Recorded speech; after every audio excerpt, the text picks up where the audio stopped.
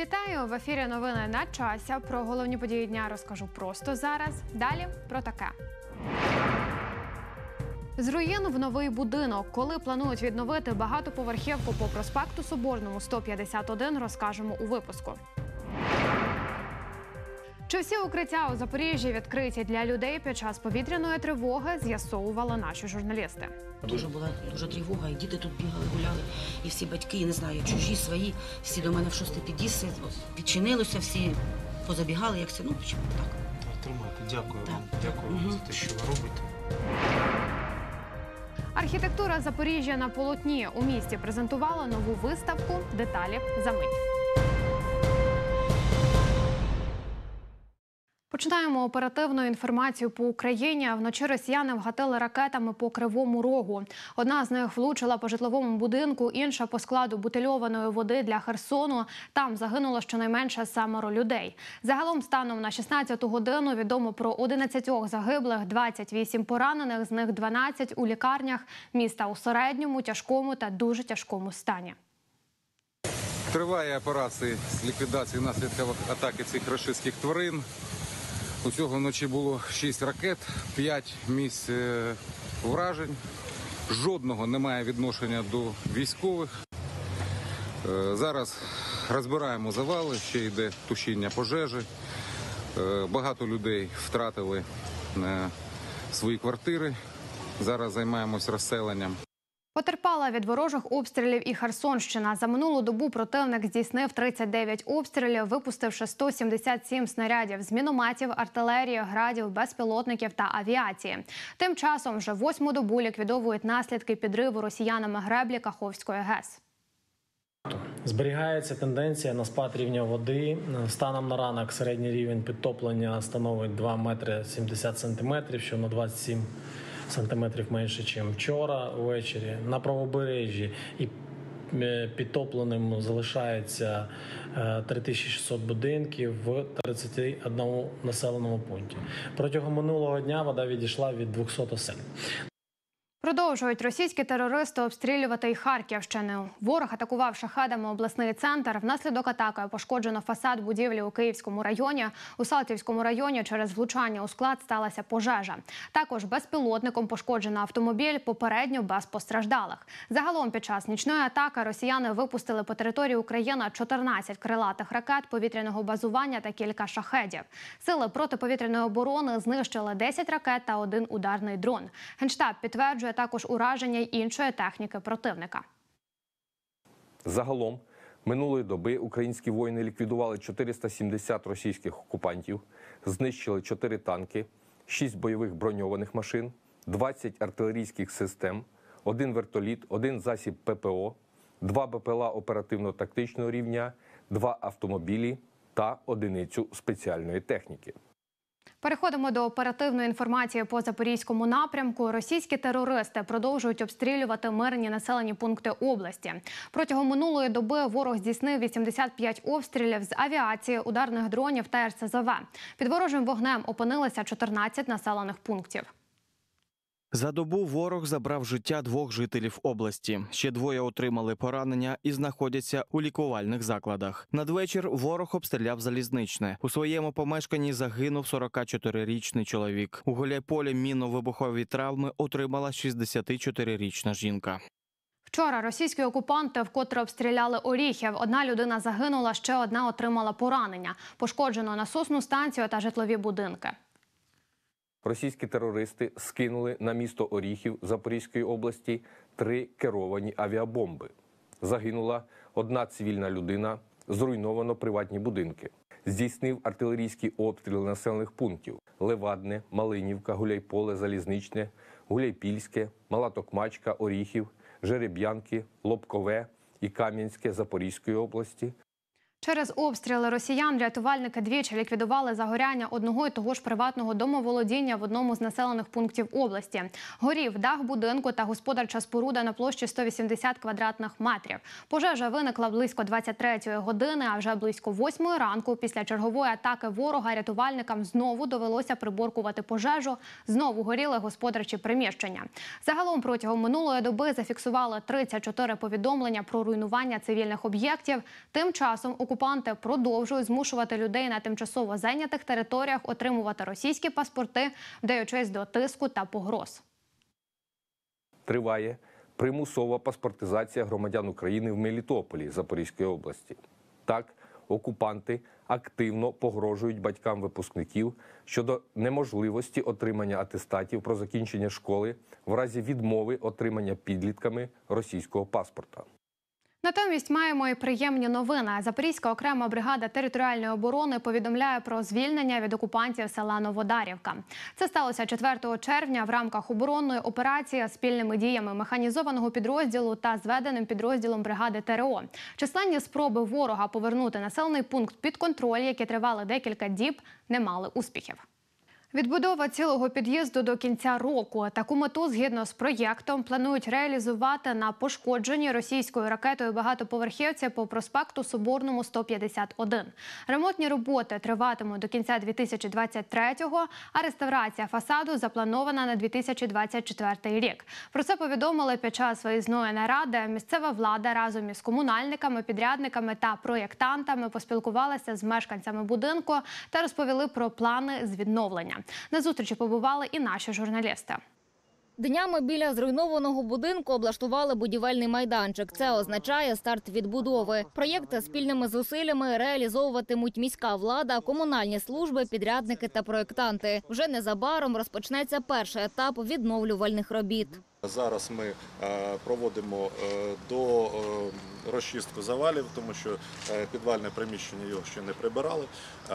Після того, як ми приберемо всі уламки, ми проведемо до обстеження безпосередньо фундаменту. Далі ми чекаємо на проект. Проект має бути готовий в наступному місяці.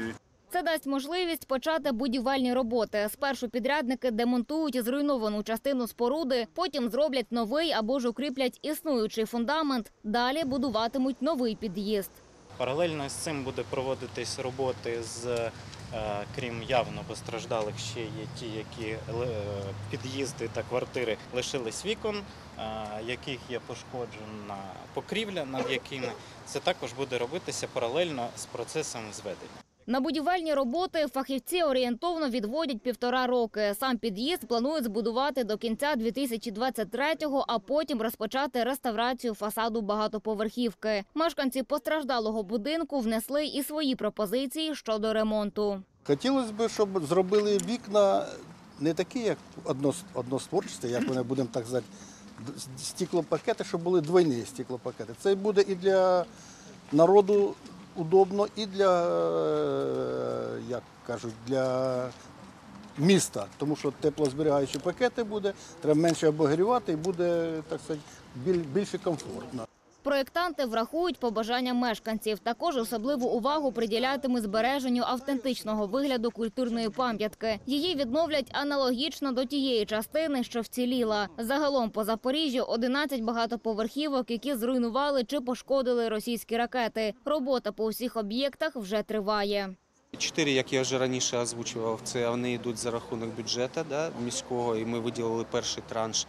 Е, Далі ми зараз шукаємо додаткові джерела фінансування. Це е, або це буде державна субвенція, або це буде міжнародні е, партнери саме цих чотирьох будинків. Всі інші сім вони підуть через агенцію по відновленню. Зараз ми чекаємо, коли вже закінчиться е, проєктно-кошторисна документація буде готова, і ми тоді передаємо вже їх е, в агенцію, і вони будуть за рахунок держави відновлюватися в повному обсязі. Наразі планується перенесення газової труби, видалення дерев, які заважають проїзду будівельної техніки, та розбір завалів у підвалі. У разі виникнення будь-яких запитань чи пропозицій мешканців будинку закликають писати у спеціальний чат, повідомлення з якого передаватимуть на засідання робочої групи щочетверга. Тетяна Пода, Микита Дейнега, телеканал МТМ. Проблем із питною водою у Запоріжжі не буде. Про це повідомляють представники обласної влади. Пояснюють, усе місто набирає воду з Дніпровського водосховища, яке наразі повне. Водозабір здійснюється у штатному режимі. Проте підрив Каховської ГЕС суттєво вплинув на флору і фауну. Наразі вже можна казати про практично повне руйнування природних комплексів національного парку. Великий Луг на території тимчасово окупованого Васильівського району. Катастрофічними можуть бути наслідки для острова Хортиця. Проте у профільному департаменті вже готують, готуються діяти на випередження. На щастя, е, масового загибелі водних біоресурсів ми не спостерігаємо, тому що е, все ж таки рівень знижувався поступово та е, з більших переважно більшої кількості водойм водні біоресурси е, встигли вийти. Рівень кисню моніториться. Е, Якщо ми будемо спостерігати е, ризик задухових явищ, це Балабінська затока. По-перше, е, озера острова Хортиця. Е, Буде прийнято рішення щодо меліоративного вилову водних біоресурсів е, для упередження їх замору, загибелі. Якщо все ж таки виникне необхідність утилізувати загиблу рибу, то це відбуватиметься на полігоні побутових відходів номер 1 Там є спеціальна яма, проте її ємність розрахована лише на місто Запоріжжя. Чи всі укриття у Запоріжжі відкриті для людей під час повітряної тривоги? Протягом минулого тижня відповідні перевірки провели в усіх районах міста. Про їхні результати керівники районів відзвітували у міськраді. Як наголосив очільник міста Анатолій Куртів, жителі повинні мати вільний доступ до укриттів. Чи так це насправді він вирішив перевірити особисто на прикладі Шевчен... Шевченківського району? Докладніше розповість Артур Туркін. Першим під перевірку потрапляє укриття у 93-й гімназії. Воно у вільному доступі, тобто пройти туди у разі необхідності може кожен. Укриття в закладі працює, е, працює цілодобово. Е, Особливо уважні ми до моментів, коли звучить сигнал тривога. Загальна площа укриття гімназії 246 квадратних метрів. Через те, що немає другого виходу, розраховано воно лише на 50 осіб. Наразі укриття забезпечено питною та технічною водою. Є санвузол, місця для комфортного перебування людей. Директорка закладу розповідає, тут виконали ремонтні роботи, аби поліпшити умови. Тут всюди були труби, отут всюди, і повинні були ми переступати через них. Отут біля голови були труби, все підняли, прибрали, закопали. Тобто тут багато роботи зроблено. Слава Богу. Наступна адреса Цитрусова 1. Тут тимчасове укриття у підвалі обладнали самі мешканці за допомогою керівництва ОСББ. Скористатися сховищем під час тривоги можуть усі охочі. Дуже була дуже тривога, і діти тут бігали, гуляли, і всі батьки, я не знаю, чужі, свої, всі до мене в шостий під'їзд, підчинилося, всі позабігали, як це, ну, так. Да, тримайте, дякую вам. Дякую вам за те, що ви робите. А ось у сусідній багатоповерхівці на чарівній 123 на дверях до підвалу висять замки. Відповідальна за нього особа на дзвінки представників керуючої компанії не відповіла. Підвал є в реєстрі найпростіших укриттів, але мешканці кажуть, що його за призначенням не використовують. Тут же все позакрывали, ничего не это, не, не выйдешь, ничего. А раньше, раньше были укрытия, люди ходили, а сейчас взяли, позакрывали все. Тому перевіряльники одразу починають діяти за алгоритмом, залишають заявку на 1580 та звертаються до правоохоронних органів. между другим и третьим подъездом. Подвал с дворового фасада. Есть, давайте. Давайте в Нацполіцію теж дзвоните, кажете о тому, що немає доступу до укриття. Після приїзду правоохоронців з'являється і жінка, в якої є ключ від укриття. Підвал виявляється з низькою стелею. Тому облаштування, яке почали тут робити для поліпшення умов перебування, поки що призупинили. На вході до підвалу інформація про відповідальну особу відсутня. Якщо ви відповідаєте за це, да, у вас є ключі. Повісьте, будь ласка, те, що ви є відповідальна особа з цього. Федор Миколаївич з вами буде на, на Ми, контакті. ми, ми самі повісимо. Ну як самі? З ними разом, з управляючою компанією. Загалом перевірка засвідчила, що в комунальних закладах укриття відкриті та знаходяться у вільному доступі і задовільному стані. Однак залишаються проблеми із окремими ОСББ та керуючими компаніями. Якщо ми приїжджаємо, фіксуємо о тому, що є замок, немає ніяких опознавальних знаків, там табличка якась, е, де написано, що відповідальна особа, така, така, та е, контактний телефон, і то ми тоді приймаємо рішення. Перше. Е, Комісія або голови райадміністрації, або представники вони дзвонять е, в Нацполіцію 102, кажуть о тому, що немає доступу до укриттів. Потім е, дзвонять на 1580, це наша служба міська, для того, щоб зафіксувати, що дійсно немає доступу. На минулому тижні лише за скаргами мешканців на 1580 були зрізані замки на 10 підвальних приміщеннях, які є в реєстрі найпростіших укриттів. Перевірки тривають. Артур Туркін, Антон Бондаренко, телеканал МТМ. Робота під час комендантської години та порушення правил дорожнього руху про ці та інші події докладніше у відеодайджесті. Штраф за роботу у комендантську годину. Правоохоронці викрили розважальний заклад, який працював у заборонений для цього час. Крім того, там продавали алкоголь після 21-ї години. Заклад діяв у закритому режимі. Під час візиту поліцейських там перебувало близько 20 осіб. На адміністратора закладу склали протокол. Йому загрожує штраф від 400 до 800 неоподаткованих мінімумів. У Запоріжжі працівники ДСНС виявили вибухонебезпечні предмети. В населених пунктах Запорізького та Пологівського району вилучили два касетних кумулятивно-уламкових елементи, гранату, гранатометний постріл, залишок ракети С-300, касетний елемент та залишок снаряда залпового вогню «Ураган». Знахідки знищили піротехніки. Водій маршрутки поїхав на червоне світло. Порушення правил дорожнього руху зафіксували очевидці і виклали відео в мережу. За допомогою фрагменту патрульні встановили особу порушника та розшукали його. На водія виписали відповідну постанову. Здай кров, врятуй життя. Міська лікарня номер 9 ініціювала донорський марафон. Його приурочили до Всесвітнього дня донора крові, що відзначають 14 червня.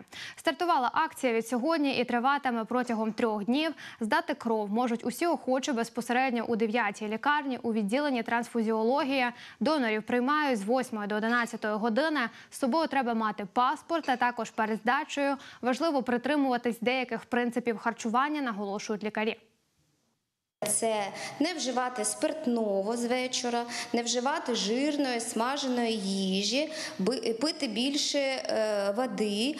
Зранку обов'язково донор потрібен е, отримати легкий сніданок або чай солодкий, або води, або е, печиво дієтичне. Після кроводачі потрібно більше пити рідини, не вживати одразу кофеїн е, содержащі речовини, е, поїсти протягом першої години. Є е, абсолютне протипоказання, де людина не може бути донором. Це е, важкі хронічні захворювання, острий інфекційний період, період, коли людина перехворіла вірусним або якимось запальним захворюванням. У Запоріжжі триває перевірка систем водовідведення. За дорученням очільника міста Анатолія Куртєва нині визначають власників систем, аби покращити функціонування мережі. Частину дільниць водовідведення вже передали на баланс комунального підприємства «ЕЛОАЖ». Наразі перевіряли стан випусків у районі центрального пляжу. Подробиці розкажуть наші журналісти. Зниження рівня води у Дніпрі не вплинуло на стан випусків системи відведення дощової води з вулиць міста. Вони не засмічені та стабільно працюють. Ось один з них біля центрального пляжу. Звідси дощова вода потрапляє у Дніпро. От ми стоїмо біля одного з випусків зливової системи. Вона починає свою роботу і приймати дощову воду з бульвара Шевченка. Частично набережну магістраль приймає, і от этого виходить. Вона состоїть е, ливнева система з дождєвих прийомників, смотрових оглядових колодців, трубопроводів і, ко- і, і колекторів. Колектори це більше діаметра, великого діаметра, трубопроводи менше діаметра. І в принципі це так ну, по всім вулицям, там, де положено. Ще один випуск міської зливової системи розташований вже в іншій частині пляжу у посадці. Він також стабільно працює. Проте поруч розташовані труби та приймальна камера, які належать промисловим підприємствам. Візуально вони зараз не функціонують. Фотографії саме цих труб поширюють у соцмережах, помилково вважаючи, що це не діє саме міська система відведення дощової води. Ми сьогодні ще раз подивилися на свої очі і зробили висновок, що все, що пов'язане з міською лівньовкою, все функціонує. І зараз випуски працюють, вода чиста. Є питання сьогодні. От на центральному пляжі є випуски, які е, саме йдуть з промислової зони наших заводів. То ми е, сьогодні вирішили, що в обов'язковому порядку зараз робимо запити, на чиєму балансі вони знаходяться, функціонують вони чи не функціонують, і потім вже будемо приймати рішення з приводу цього. Якщо за результатами експертної оцінки виявиться, що є потреба у функціонуванні цих комунікацій, то від власника вимагатимуть привести роботу промислових випусків до ладу. Артур Туркін, Олександр Гоц, телеканал МТМ. Капітальний ремонт магістрального трубопроводу триває в Олександрівському районі Запоріжжя. Роботи фахівці концерну міські теплові мережі виконують на перехресті вулиць Святого Миколая та Першої Ливарної. Пошкодження старих труб виявили під час планових обстежень тепломагістралі, яка вже давно відпрацювала термін експлуатації. Локальні пориви, котрі постійно траплялися на цьому відрізку, ліквідовували в аварійному порядку. А 1 червня розпочали капітальний ремонт. На цій ділянці працюють дві бригади Олександрівської філії концерну. До кінця липня планують замінити 160 погонних метрів труб. Зараз е, ми производимо е, заміну е, труб опалювання, які були прокладені ще у 92-му році, тобто майже більш ніж 30 років тому. За цей час експлуатації трубопроводи пошкоджені корозією, тому е, зараз е, производиться е, заміна, демонтаж старих сталевих труб і заміна їх на нові сучасні предизольовані труби діаметром 530 мм. Загалом у ході підготовки до нового опалювального сезону фахівці концерну МТМ вже замінили понад 2 кілометри труб із 11, які необхідно відремонтувати. Запорізька обласна організація Українське товариство глухих днями відсвяткувала свій 90-й день народження. Привітав членів товариства і очільник міста Анатолій Куртєв. Він, зокрема, подякував організації за працю та подарував з нагоди свята ноутбук для можливості завжди залишатись на зв'язку. Така техніка нині як ніколи актуальна, зізнається виконуюча обов'язків директора. Адже з понад двох тисяч учасників товариства у Запоріжжі залишилося трохи більше 600. Всі інші або виїхали, або перебувають на тимчасово окупованій території, і з ними товариство підтримує зв'язок. Багато людей уїхало, виїхало в евакуацію, прикладачів мало. А у людей проблеми їхні залишились. І ми е, обслуговуємо глухих наших, ну нечуючих наших членів дистанційно.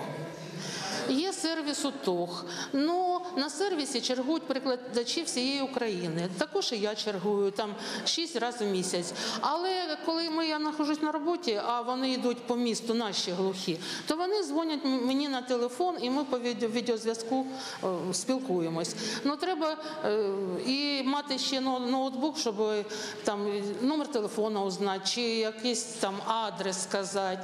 Ну це для роботи сервісу по обслуговуванню нечуючих. Я хочу подякувати вашій організації за те, що ви даєте можливість вашим діткам, вам, перше, отримати освіту, по-друге, знайти професію, потім дати поштовх розвитку, тому що я е, знаю, що багато із вас дуже творчі люди. І у вас свій підхід, тому що ви не чуєте, але ви чуєте своїм серцем.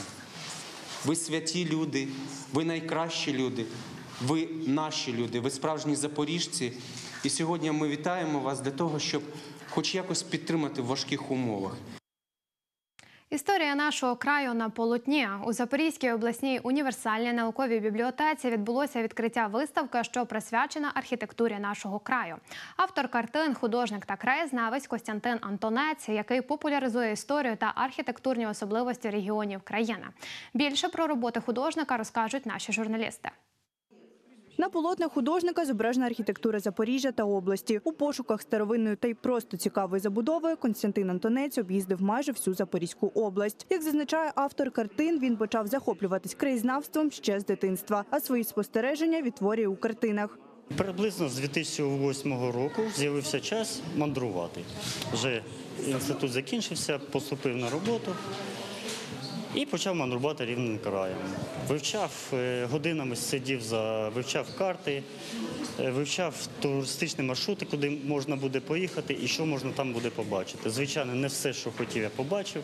Багато зруйновано за десятиліття, але значну частину старовинних будівель залишилося. Подорожує художник іншими областями країни, досліджуючи їхні особливості. Всі цікаві будівлі береться замальовувати, аби залишити про них пам'ять. Мабуть, вже 600 населених пунктів нашого краю, Донецької, Дніпропетровської, Херсонської відвідав. Всюди побачив цікаву архітектуру. На жаль, в зв'язку з тим, що за один маршрут я міг долати там 10-12 населених пунктів, то стояти, замальовувати не було часу. Тому я фотографував і вже вдома розфарбовував, міняв шифер на е, черепицю або метал, як воно століття тому було. Тобто відтворював е, будинки так, як вони могли виглядати 100 років тому. На відкриття виставки завітало чимало людей. Серед них є й ті, хто давно захоплюється творчістю художника. З Костянтином ми були знайомі довгий час лише заочно, як френди у Фейсбуці. І, але я звернула увагу, звісно, на його роботи, тому що вони дуже класні, вони дуже високого, як на мене, художнього рівня. По-друге, е, його така одержимість у хорошому сенсі подорожами, краєзнавчими подорожами, вивченням свого краю теж у мене викликає захоплення, бо людина сама за своїм коштом вивчає, подорожує, шукає такі куточки нашого краю, які до нього можливо хтось ну не вивчав ще. І це все доносить до людей, показує наскільки все таки наша земля Запорізька, Запорізька Придніпровська багата, різноманітна. Загалом на виставці представлено 130 картин, які художник почав створювати ще у 2014 році. Організатором експозиції став історико-архітектурний музей-заповідник Садиба Попова. Під час дослідження історії народів, що заселяли Запорізьку область, співробітники музею звернули увагу на роботи художника. А він у свою чергу допоміг їм у пошуку і вивченні нової інформації. За спогадами людей, що працювали в замковому комплексі, е, окрім е, картин, е, колекції книг і навіть колекції карет, було 15 залів. Кожний з залів був присвячений окремій, окремому народу і їх культурі. Вивчаючи, ми зіткнулися з тим, що неможливо вивчати Запорізьку історію Запорізького краю без Константина Антонця, тому що на кожному кроці нам траплялися його картини, його фотографії, його е, великі і невеликі описи. Продовжили захід в арт-просторі обласної наукової бібліотеки. Там організували творчий куточок, де діти взялися створювати картини. Кожна з них присвячена значимій для них частині Запоріжжя та області. Сьогодні вони, побачивши е, малюнки, на яких зображена Запорізька область, Запорізький край, е, архітектуру, просто мальовничі куточки. Вони згадали і свої домівки, які вони на сьогодні були змушені покинути. Е, І ми їм запропонували їх намалювати або свої домівки, або ті місця, які вони дуже люблять. Сьогодні я малюю Дніпро, тому що Дніпро це ну, як, як символ України, це часть України. Відвідати виставку може кожен охочий. Вона триватиме у обласній універсальній науковій бібліотеці до 16 липня. Єлизавета Швайко, Олександр Гоц, телеканал МТМ. Більше інформації знаходьте в нашому телеграм-каналі, а також пропонуйте власні новини через телеграм-чат-бот. На цьому у мене все. Зустрінемось на телеканалі МТМ.